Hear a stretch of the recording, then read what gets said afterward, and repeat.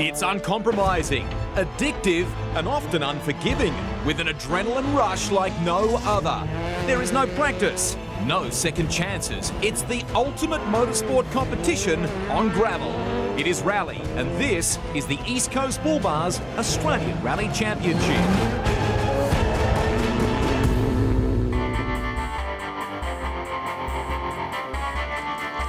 It's that time of year again when the quiet New South Wales coastal holiday destination of Coffs Harbour reverberates to the sound of high revving engines and the surrounding hillside is shrouded in dust from the world's greatest motorsport spectacle on gravel, the World Rally Championship.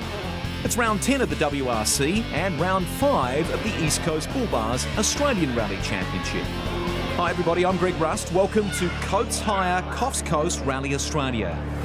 In today's show, we'll feature the classic clash between Toyota, Datsun and Porsche and showcase a myriad of models from a bygone era of rallying.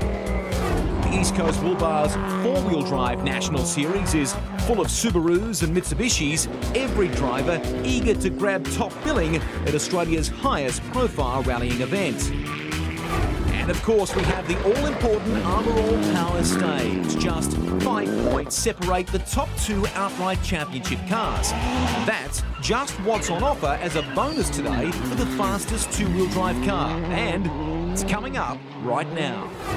Last round, the battle for honours came down to the Mazda of Reeves and the Renault of Pedder. After crashing out of the previous Armor All Power stage, Brendan Reeves was keen to make amends. Scott Pedder had found form and his Walkinshaw Performance Clio was fast. Too fast, in fact, for the Rally School Mazda 2, and he secured maximum bonus points. As always, only championship registered competitors can qualify for the Armor All Power stage, and they have just one qualifying run to get themselves into the fastest five. We're here for the running of the fifth Armor Power stage of the year. This is where competitors can earn bonus points before they start the rally proper. The first half of the year, it's been Brendan Reeves, but the hard-charging Scott Pedder has whittled away his lead and is now leading by five points. This part of the championship, every point is critical. This stage is worth five bonus points. There's plenty at stake and plenty on offer. Here's a snapshot of how the stage looks. A long straight off the start line introduces the humps that are a feature of this stage. After a tight left at New South Wales now, it's down across three humps to reach the first split, the Can-Am Crumps.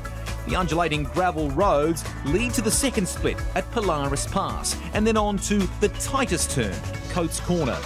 The second chance to stretch their legs happens downhill, entering a wide but rough sweeper before the finish comes up at 2.5 kilometres.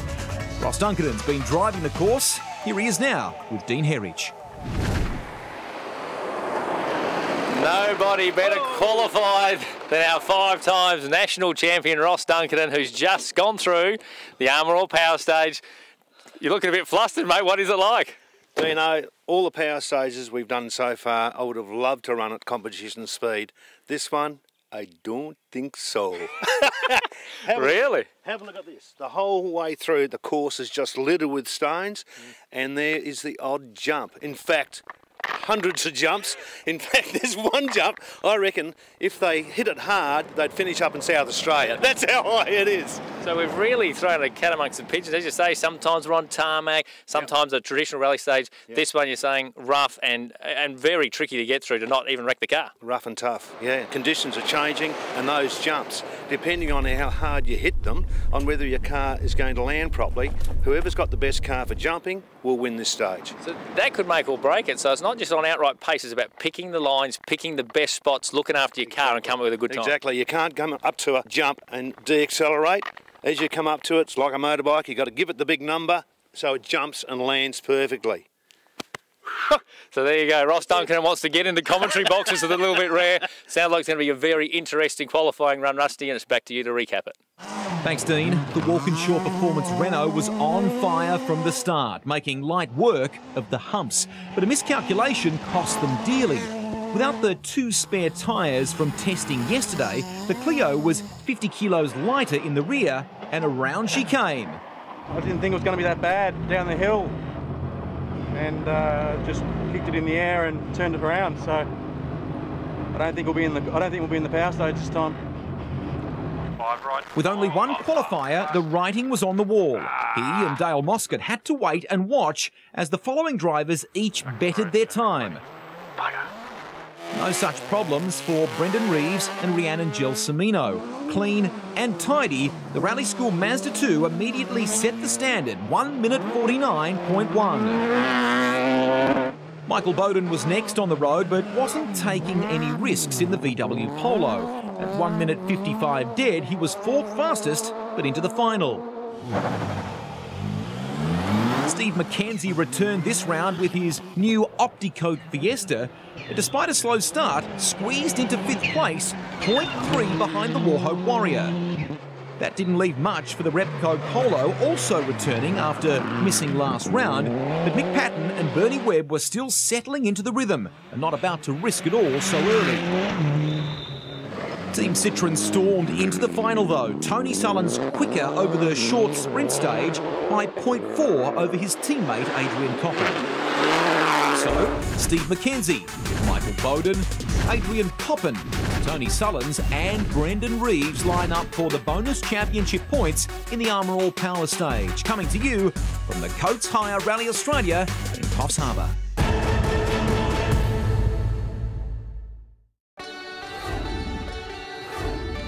Welcome back to the holiday destination of Coffs Harbour. Despite the tranquility of the New South Wales North Coast, one week a year it bursts into life with Coates Hire Rally Australia.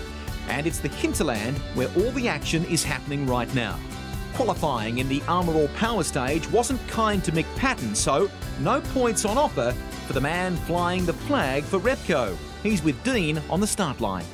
So our wildcard entries, it's Mick Patton and Bernie Webb. Great to have you guys back after missing South Australia, mate. Must be good to get back behind the wheel. Yeah, it is. We've done a lot of uh, component testing in the uh, six weeks that we uh, unfortunately missed SA, but car's really good. We feel quite comfortable with it, but um, yeah, it's a long weekend to go, mate, so we're just going to do our thing and, and, tick some boxes this weekend for sure. Great to have the Repco Rally team back and good luck through here. Thanks, guys.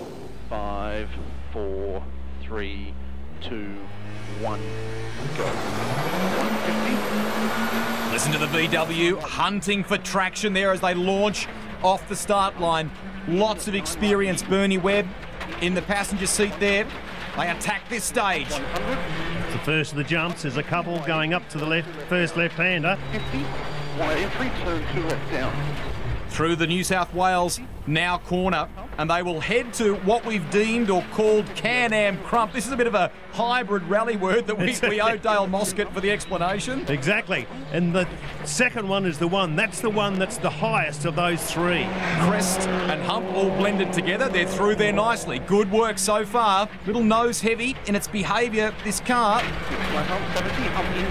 Rusty, they've got to keep the boot in or to keep those shock absorbers on uh, full extension so they can't come in on the brakes, otherwise they'll nosedive in, and he's doing a good job here at the moment. That's the super impressive part as we weave through Pedder's pinch. Just a nice line there too, Ross. Very yep. centred on the road, weren't they? Short seven hole, there's a half lane control left here, over small hump. Into, keep nine left, right, over brow, 100, keep nine left, right. So through Polaris Pass, and that's the benchmark time that we'll be using to compare with other competitors, the splits as this special stage unfolds. Heading up now to the Hi-Tech Oils speed trap as well. We'll get an idea of what kind of top speed through these frightening trees on the Coffs Coast, but they are attacking, no doubt about it. It's a fast run down through here, Rusty. They've got to keep the, the boot in it to keep those shockers on full full extension. Otherwise, they'll go nose diving into the into the crest. 115k an hour at the Hi-Tech Oils speed trap. This is a tidy run from this combination. You could almost tell from the way Bernie Webb was looking at the beginning of the stage. He just wanted his driver to bring it home nicely. 156.7. That is the time to beat. We've uh, misjudged one of the big humps, but um, no, apart from that, it was fine. Yeah, we're just here uh, blowing the cobwebs out, getting ready for the big stuff uh, over the next three days, essentially. So given what he said there, let's put that under a bit of analysis on the replays. He felt it was untidy here. And then through Pedder's pinch. Still, all in all, a reasonably tidy run as we go back to Dean. Great to have the McKenzie brothers back, both Stephen and Brent, in the brand new car, mate, debuting here on a big rally and uh, just lobbed into the power stage, mate. Well done. Yeah, yeah, cheers. Um, yeah, excellent to have the new car finally out. Um, it's been a long time coming. We didn't have as much testing, I guess, as we planned, but we're here. We put in a reasonable time for the first stage, and yeah, I'm happy so far. Smile says it all, guys. Good luck to them on this run. Five, four, three, two. Lots to smile about, Dean. This is a terrific looking car, Ross. They launch away. And he's a good young young boy, this guy. He's uh, come up through the ranks, and uh, it's good to see him in this car.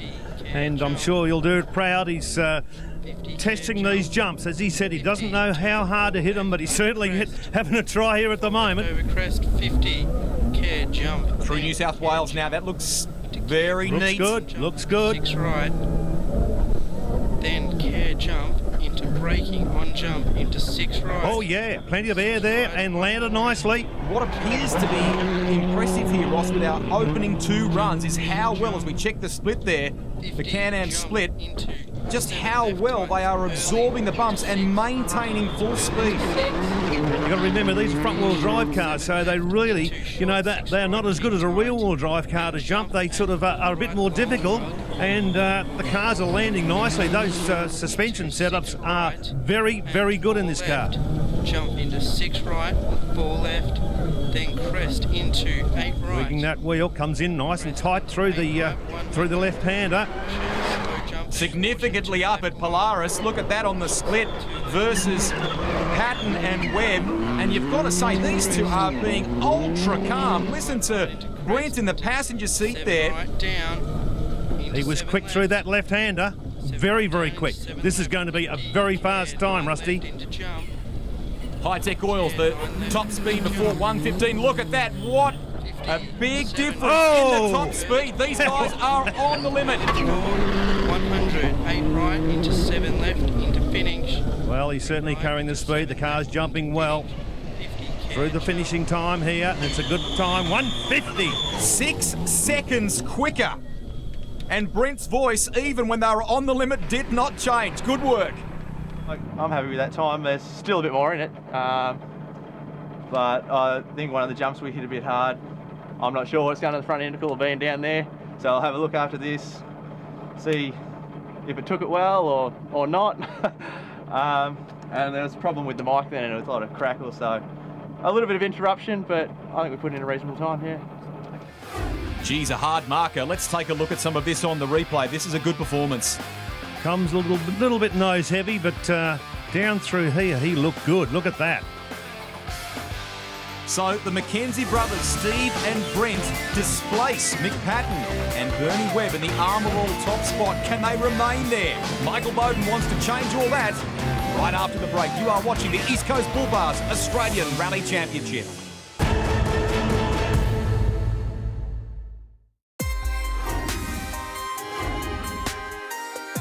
While preparations are getting underway in beautiful Coffs Harbour for Coates Hire Rally Australia, the action has already begun out in the forest for the East Coast Bull Bars Australian Rally Championship. Currently, our leader in the Armor All Power stage is Steve McKenzie, but Dean is at the start with the Warhope Warrior, and he wants to change all that. Dino?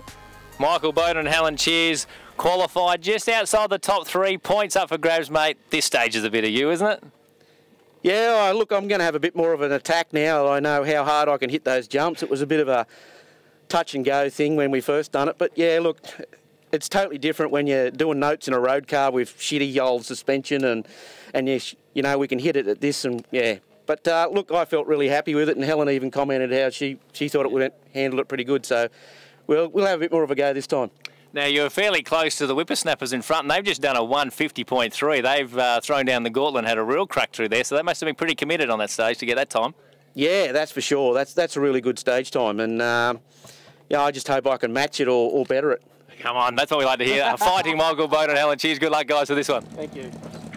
That's a really interesting mindset, isn't it? Just the one qualifying run, but that is enough to build the confidence of someone like this who knows how to win championships. Away he goes. They've done all the work on this car, and of course, as he said, he's already had the qualifying run. He knows how the car jumps, so he's going to give it to her, and he is doing just that. Right entry, two left, 60, right entry, two left. Helen Cheers in the passenger seat. Michael Bowden nice and tight on the entry. They work now towards the Crumps, the Can-Am. Crumps, look at this. This is the one. Let's see how he goes over that. He's not, no, he's not going as fast. I don't think it's McKenzie through there. He's down at the split. But his time, he's got time to recover here, Michael Bowden. Look at the eyes, look at the determination. Five left, 80. The biggest jumps coming up, so uh, that depends on how much courage he's got. Left, right through there. It's quite tricky up through the Pedders area there as it comes down. Lovely line through the Pedders pinch. Four and a half right, four and a half right into three left, yump. 40, brow six, then five and a half right, 100. Still down at the split, but he's recovered some time, as you can see there. The gap was bigger before. Can, he, can this pairing in the final split recover that and move to the top of the Armor All Power stage? Big mission. Can they get there? Anybody who can do it can be Michael Bowden, and he's having a big try, but can he pull it back? Right, then four and a half left. 124 k's an hour for our last pairing through at The high-tech split just down, fractionally, 4 k's an hour. He's not going to do it. 100, six right, 100, six right. Then five left. This is going to be close. It doesn't seem as though they'll do it, but there's not much in it. Lost it up in the top corner there. Yeah, they got us, I'm pretty sure. The Mackenzies will stay in the top spot for now. Nah, I lost it up on, on one of the corners, went in a bit too deep, and on the rock, Lucy stuff, mate, backed it in. I knew where the time was, but hey, it was worth the crap. Well, let's This take is- a closer look here. That's where he lost a bit of time there, I think, uh, Rusty. A little bit of understeer as he went into that corner. Well, no change in the Armor All Power Stage lead. Stephen Brent McKenzie, but the Citroens want that spot. Dean? Team Citroen Australia, Adrian Kopp and Tim Batten qualified third. Maybe you're gobsmacked you've even got in. You've got a bit of an issue that you're dealing with. Yeah, we've got a brand new gearbox for this one, Dino, and it arrived yesterday out of customs and freight, so it's been a, frantic week. But we've got a bit of an issue with the voltage, so I didn't actually couldn't select second or third gear. So I'm actually amazed that we've, got here in third, and um, it's you know we'll see how we go through here. But I don't think it's going to uh, going to fix itself anytime soon. It's sort of an electronic issue. It sort of does grab a gear, but it doesn't know that it's grabbed a gear. So the electronics is the bit that's playing up. Is that correct? Yeah, that's right. You sort of 10 grabs and maybe it grabs it and sometimes it doesn't and then on the down downshift. So look, it's just one of those things we've just got to persist and, and get through here and get it sorted before we start tomorrow. Yeah, like I said, did a good job in qualifying, mate. Good luck for the final run here, mate. Thanks, Dino. It's be tricky for them guys. So if they're going to go and push, they've got a bit to play for. Yeah, absolutely. What about that? Electronics, Rusty. How about that? Great work by the team, we've got to say, given the delayed arrival of this gearbox through customs, as Adrian said there, to even to get it done, and hopefully they can get this car sorted for the for the rest of the weekend. But it's a huge challenge for this pairing, he and Tim Batten, as they attack the power stage. As you can see on the dash, it's, uh, it's actually selecting the uh, the gears all right there. He's up into fifth. 70, big jump. 30, Oh, there's a problem there. It's starting to flash on and off. 45 and a half right. It doesn't look as quick through the crumps we go. Wow, good effort though. That said, at the split, they've got some time, so Yep. that's positive. Just ahead. Well, he's back into fifth gear, so he is having a big try. Flat right, a flap into short six left. Hug six right on crest and the six left over jump. 40, Sweep through Pedders, it looked good, the car. four and a half left over jump. Now the crucial split. Six left, six right. Will the Mackenzies be able to retain it? Jump. Not for now, because Adrian Coppin and Tim Batten for now are in the lead of this Armor All Power stage. What a result that would be given the, the complications with this car. Six right on crest opens 40. Slow five right, five right on crest down. Looking comfortable behind the wheel. Brake six left. Over Thread, threading the needle through there, down through past the Good top Kumhos. not bad. It's not our Yep. fastest so far in the stage, but that's very reasonable, all things considered. Short six right into six left. Six left here, the 40 line finish. Super close here. It's going to be. Just Whoa. they do it. Well done to Adrian Coppin and Tim Batten. Against the odds, they move to the top of the ladder. That was worse than the last one, but we still went faster, but it just wouldn't get out of second gear, so she just got to rev the whole way, and what can we do? We just got to try and get it sorted for tomorrow. So it's an absolute handful, but he has a dip, he has a go. Look at the look at the way It's moving. constantly shifting, trying, hoping to find it. It's on the paddles there. You can see him flicking on backwards and forwards. The sequential gearbox, of course.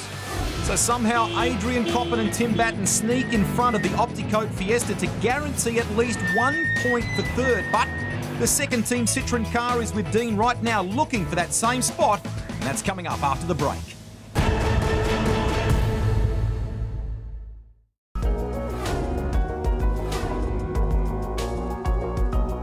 Coffs Harbour is renowned for the biggest banana in the country, but this weekend it's the biggest rally in the country that is the centre of attention. Right now, the best bunch of drivers in the East Coast Bull Bars ARC is assembled in the Forest Hinterland to find out for the bonus points in the Armor All Power Stage, and Dean is with our next competitor. The second of the Citroens is Tony Sullins and Julia Barclay. Great run, second in the qualifying. You have to beat your teammate to get on top, mate. He's uh, pumped out a 149.6. It's about three seconds quicker than the previous run, but in this stage, I think you can do it, can you? I hope so. He's, he's, he's obviously having a go, but um, yeah, we will too. Yeah. Um, tough stage. It's a balance between doing some drama to the car or damaging the car and getting the time, isn't there? Oh, definitely. My, my mission is to keep the car in one piece for the rest of the rally. I don't mind if we if he beats us, but you know, I'll, I'll definitely. We want to have a go if we can. I can see it in your eyes, mate. You can have a go. Thanks, mate. Good luck to them both. We're both suffering with the flu, so they're doing a fantastic job of the qualifying. Good luck in this run. Good observation, Dean, and they're like that, aren't they? Super competitive pairing, these two. And he doesn't mind if he's beaten. I don't think so. like Five and a half. Up to the very first jump of the stage. It's only a small one as they pull their way up the hill. 30 turn cut. Every round of the Australian Championship has a power stage, but each seem to have something unique. Gee, this is a challenging power stage. Through New South Wales now, and they work towards the Can Am Crumps, the crest and humps together that really knock these cars around. 80. Didn't get too much air, so uh, and he's carrying a reasonable amount of speed through there, Rusty. So Ahead of his could be a- teammate, crucially ahead of his Yeah. teammate at the first split. You could pick that. He's uh, he's doing well. Short left five plus into hug right five over. Great little cars these, of course. Uh, Been a welcome addition to the championship this year, hasn't it? Very well presented and prepared. very successful in Europe, of course. and left four hump. And keep left to crest. 30. Look at this from the Polaris split. They've been able to find even more time and improve on that lead over their teammate. Oh, I tell you what, he came down very hard on the right hand there and snuck through there very nicely. Into brow into right five. Into left four and a half. Narrows. 30. Cut left five and a half over hump. Very nicely done. High tech, fastest so far, 127 Oh. kilometres an hour, and that's reflected in the landing. he is on fire at the moment. This is going to be a very fast time. These guys look like they're going to move to the top of the ladder, but it just underscores the strength, the imp- how Whoa. impressive that drive was for Coppin and Batten with the problems they had to uh, had to deal with. Well done. Oh, well, it was, um, I could have gone a bit harder in a few spots. I didn't want to hurt the car, so. No, exactly. Exactly. Long event to go. 148, that's a good time. Done him by 1.4. Oh, really? Well done. I had a bit of a go. I had a bit of a go, and I thought, well, I didn't do anything stupid, but we still, um, you know, pushed on pretty hard. You've really got a longer distance ahead of us. I I don't want to fix the car this afternoon, that's for sure. It's a really wise approach from this pairing as we check the replay. I bet he'd like to have another go. Good time that they found out. This Oh, was that was a big jump there, Rusty.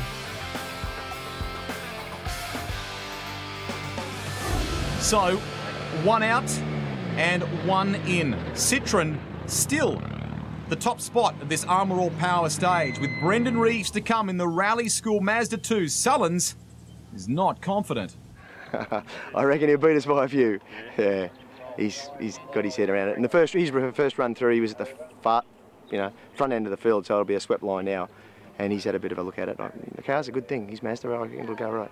Our fastest qualifiers, Brendan Reeves and Rhiannon Gelsomino. Congratulations on the qualifying. You're going to have to go about 1.1 seconds faster than your qualifying run to take Tony Sullins, who just did a 148.2. So great time by them.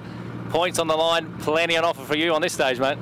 Yeah, like our qualifying run went pretty good. We hadn't had much of a pre-event test, so that was really my test, and, and the car feels good. I did feel like I got a flat front right, but it wasn't there, so we sort of backed off a bit. So hopefully we can improve on the second half of the stage. And these guys in front of me have swept a good line too while I was on those rocks uh, this morning, so we'll see how we go. But I did fire Tony up before the stage. He said he was going to push. Which is great for them, and you've got a battle on. The big news was, of course, that Scotty didn't qualify. You're five points behind in the championship. If you can get this done on this stage, you'll be tied going into the start of the weekend. That's a pretty big carrot for you. That'd mean a lot for us, and we haven't had a great last couple of power stages, so to get a win means everything. Good start to a big event. Feeling the pressure of this? As, like you said, you can't just dawdle through here, so there's a little bit of pressure on in this car, I'm sure. Yeah, it doesn't really feel like pressure. I'm just keen to get out there and, and run a clean stage. You know, it's a lot of fun. There's about 15 jumps in here, and the Mazda's got the zoom zoom factor, so it's great. I like all the jump jump factor. Good luck, guys. Go get them. This will be a good one, Rusty. Hold on to your hat because he's going to have a go. Love the sound of that car in full flight. Maximum revs as they launch away from the start line. As he said, the uh, track's been swept. That means they've swept all the loose stones off. So now he's got solid uh, adhesion, so he can get plenty of uh, plenty of traction from the Mazda. Oh, nicely set up and pulls it around in a Scandinavian flick. Fastest through that corner by far. Now toward the Can-Am Crumps. We'll get our first split soon. Listen to the revs. That's the biggest jump on the third jump we've seen so far. Thought it might be higher than that. It's two tenths, but they are ahead. They've moved to the top spot for now.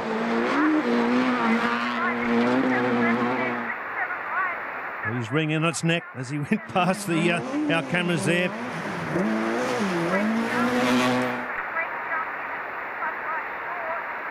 Spectacular to watch, and that is the nature of Brendan Reeves, the rally driver. He's always very good at these power stages. Good, and, uh, good gain yep. through the second split, Ross, at Polaris. Oh, just wild. He has got this one, I think, in the bag because uh, he's only got uh, halfway through, but he's got time up now and uh, doing it nicely. And doesn't it set up a fascinating prospect for the back end of this championship? Remember, they'll be tied. Good effort there at the high tech Speed trap 125 k's an hour to think that the key guys fighting for the championship will be neck and neck in points terms if these guys can do it. They're nearly there. Yep, he needs it and he'll come through and he has got five points. 145 6. So in the end, three seconds. Boy, they've made some gains over the runs on this stage. Yeah, it felt really good in there. The boys had swept the line for us. The first run, it was the other way around, Scott and us for cleaning. Uh, but the notes worked well considering we didn't really get a test before this event. This is our test. Uh, really happy, tyres work good and plenty of moisture in the road, which is great looking at the rally. Yeah, the heart's definitely racing, that's for sure. My hands are shaking. I think there's about 15 jumps and we took a lot of them flat, which is a lot of fun in this car. Um, the G2s do it really well, so can't wait to get the cash and the prize. So they had to go for points, and that's exactly what they did a joy to watch as Brendan Reeves and Rhiannon win the Armor All Power Stage. Now we're going to do the power stage dance. no doubt who's on top in the power stage. Brendan Reeves and Rhiannon Gelsomino. Very nice. Might start a new trend. We could do that. The Armor All Power Stage dance. And they've closed the gap on Scott Pedder. Yeah, it's equal points now, so that's great. Uh, we didn't expect that we'd get to start like that, so it's a good feeling. The car feels excellent going into the rally, which is always a great positive. Um, so, yeah, look, we've done everything we can from here. Uh, the car setup's good. I don't think we need to change anything. Uh, just clean it up for the start tomorrow and see how we go on the stages. I think the conditions are going to be quite hard on the tyres. Like we found that out last year. There's quite a few rocks and it's going to be quite hot out there. So we've got to play the tyre strategy quite well with the Kumhos this weekend and do everything we can. There's a lot of points on offer. We have three separate legs, 20 points for each leg. Uh, 40 points for overall rally. We've got five points here and you've also got a bonus point for a stage win, so there's a lot to come. The Armor All Winners Prize presented by the General Manager of East Coast Bull Bars, Paul Teresi. That's it for another Armor All Power stage. Pedder and Reeves now dead heated in the championship lead. Coming up, it's Subaru versus Mitsubishi. It's round five of the East Coast Bull Bars four-wheel drive national series. Gets underway in earnest in just a few moments.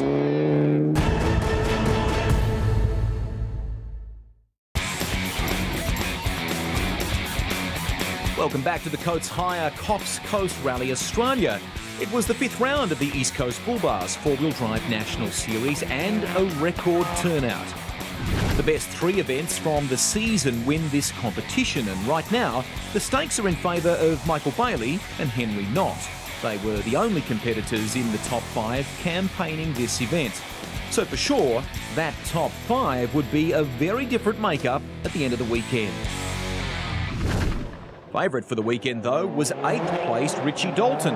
His intentions clear. We're out definitely a podium, man. A bit nervous at the moment because it's been a long time since I've sat in the car. So just just get a feel for the first couple of stages and just we'll play it by ear, see how it goes. Dalton, with John Allen pointing the way, didn't look back, putting more than a second decay on their opposition through stage one. Last year, Henry Knott crashed out of this event in his two-wheel drive BMW. It returned with an extra set of drive wheels for unfinished business. I've got a score to settle up here. This is my third crack at this, and I'm going to beat it. If Dalton had Knott by 17 in SS1, then the roles were reversed next stage. Showing age was no barrier, Michael Bailey fueled up his new BP Ultimate Evo 9 displacing them both to grab the top spot through the first pass of Newry in leg one. Oh, you know, when you turn 50, mate, you're a super fit athlete like myself. That was uh, that wasn't too bad actually. Must be the power steering. It's a little less input my age. It was the turbo hose on the Mitsubishi that needed inputting after it blew off and dropped them from third to seventh. Dalton again took honours through the first repeat of the morning stages, Hydes Creek. The Irish pilot was not frightened to have a go on the new stage for 2014. His reward, a 15 second overall lead. Andrew Penny was just pleased to be at the finish, even dragging his rear muffler. His replacement Subaru WRX hot off the assembly line after his last car was burnt to the ground in a rally just two months ago. A Tassie Devil weighed into the competition through the final gravel stage of the day. Marcus Walcombe, two seconds quicker than Dalton. He and brother Scott repeat the feat through the super special stage in downtown Coffs Harbour. The heat was on in leg two, and the Dalton Allen combination proved too good for both Marcus Walcombe and Henry Knott through Nambucca 1. Turn two left, hog with ditch. 70. Tempo change. The longer stage of the event became even longer for Mike Bailey when the front diff broke and he and Matt Harriet were forced to crawl through the stage and Valor back to service. 14 kilometres to go. It was weekend over for the BP Ultimate team. The Walcombe snuck in by two seconds for a stage win across Valor on the limit. The return to the 49 kilometre Nambucca stage was the undoing for Andrew Penny, the mercury rising in the engine, forcing a go slow. Henry Knott might have been preserving his chances at his South Australian Championship, but the gnarly private road resembling a goat track that joined the two sweeping Shire roads was doing all it could to stop him. Richie Dalton, though, had thrown caution to the wind, fastest again. Final day brought Henry Knott unstuck at the creek crossings in Shipmans. His third outright was quickly watered down to eighth, stopping at both hazards. No problems for Dalton though, who powered on to first in stage ahead of Marcus Walken. Richie Dalton wasn't the only Irishman in the four-wheel drive pack. He convinced his mate, Justin Hatton, to try his hand at rallying, so he brought a left-hand drive Evo 9 a week before the event and stepped up to the plate. Remarkably, a stage win last night at the Super Special was accomplished because it was short enough he didn't need pace notes. But through Bucca, he claimed a remarkable fourth fastest despite the rookie being in his first rally and not yet really understanding pace notes. The Fibertech medical machine of Gerald Schofield clattered and clunked through Bucca and back to service, holding on to his third position despite a broken bolt in the diff housing. Something's gone wrong in the rear end. Uh, the guys say it's fairly simple. I'm hoping it's going to be because uh, the guy behind me is catching me fairly quickly.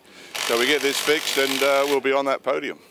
The guy chasing him down was Paul Newman, who was ticking off his bucket list, waiting 20 years to go rallying in the ARC and doing it with his son and mate Sean.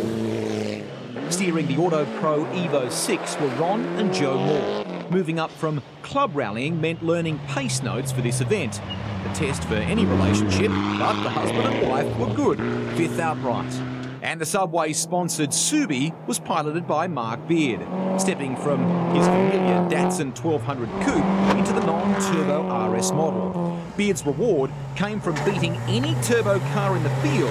His nemesis was the Shipman time clock that seemed eager to penalise him for jumping both starts. There was no stopping Richie Dalton though, despite oil leaking into the transfer case, making controlling the front wheels almost impossible. He nursed his Shamrock entry to victory and the top of the East Coast Bull Bars four-wheel drive National Series. Henry Knott was left to lament his watery finish that meant second in the series, while Jared Schofield grabbed points and fourth outright ahead of Michael Bailey to round out the five.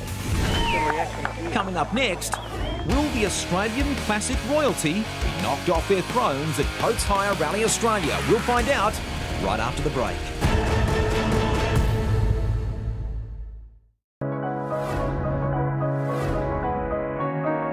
Welcome back to the East Coast Bull Bars ARC. Without doubt, the Coates Hire Coffs Coast Rally was a draw card for crews and crowd alike, and that extended to the Classics. Topping the bill, as usual, were Neil Bates and Coral Taylor in their Toyota Celica, dominating the event from the start, despite some big jumps that took their toll. Yeah, obviously for a wild rally car they handle it no problems at all, but uh, tough work on other cars. Four over F hump. Yeah, four over hump. Yep. The event was tough on other cars, all right, none more so than Claude Murray. The Datsun P510 pilot had previously taken the fight up to Bates, but this time he was stopped short. All over. Clay Badenoch challenged the master early on with the new Bates-built engine pushing his Celica into second, but he was ground down with a howling rear diff. In the second stage there, it got worse and we just idled, well, we just short shifted and then, um, yeah, something, something let go there. Phil Casper spirited his way into second behind Bates. The Ghost Rally Sport team appeared from nowhere and held on to the Toyota coattail until early in leg three when the Pinto coughed and spluttered at Shipman's Creek Crossing. Ed Mulligan broke a tail shaft early in his escort, returning for leg two only to suffer from a loss of power in the BDA engine. Mulligan was not perturbed by the setback. It's not much better today. We've only got a little bit of a power loss today. And when you're in our weight for age over 60s handicap, I'm still in front. Troubles plagued Troy O'Doherty right from the outset, sidelined after hitting a bridge early in SS1. But the car began stopping without explanation, only to restart just as inexplicably. Still, he and wife Penny did manhandle the V8 Triumph to the end, even if it was as tail end Charlie. No struggle for Matt Ruggles in the other TR7, a spot of consistency rewarding him with second for the weekend. And with the luck of the Irish, Michael O'Hagan in only his fourth rally and second on pace notes was on the improve all weekend. Fifth day one, fourth day two, finally crossing the line for third despite a failing diff that was doing everything to stop him. Jeff David wasn't his usual consistent self. Something was keeping the Porsche driver away from the top of the field. Not far enough away from the bank. I thought I was going to have a half spin and I was actually getting ready to pull reverse to back up uh, and then continue on, just thinking, oh, well, I've lost a few seconds there. And then the car just moved forward a bit and grabbed the bank and tipped us over. The smallest car in the field couldn't match Neil Bates in the forest. But on the tight Super Special, Steve Arnold was just 0.2 of a second behind the classic champ, both passes. And holding down the fort for rotaries, Mark and Coral Fitton's RX2 provided plenty of highs and lows for a family affair. Eventually placed sixth after a hard three days of rallying. Outside the classification, three cars strutted their stuff with varying degrees of success as invitational entries. Bill Cremati's low, shearing an axle in his Lancer, provided his high, spectating the WRC cars in full flight. The bulldust from the very same World Rally cars sidelined Brett Stevens, but even a failing clutch couldn't dampen the Bluebird driver's enthusiasm. So we are down, but we've completed every stage, so that's pretty good. It's not often you get to mix with the big boys. I mean, we're not mixing with them, but you know, in the same parks and all of that, so you can't do that in Formula One or anything. After two years in the build, Mal Keogh's Audi Quattro was finally in action. I've only been driving it for basically two days, so um, I'm learning fast. Fast was an understatement. The Quattro living up to its reputation for speed and entertainment. The, the acceleration and the launch on them is just incredible. As fast as the Quattro was, though, it was Neil Bates and Coral Taylor who drove another faultless rally, demonstrating why they are the king and queen of the classics. That wraps up the first part of our coverage from the Coates Hire Coffs Coast Rally Australia. Watch out for all the action from the East Coast Bull Bars Australian Rally Championship in our program coming up same time next week. Just check your local guides for details. And as we always say, to keep up to date, just head to the website rally.com.au. I'm Greg Rust. We'll catch you next time. Bye for now.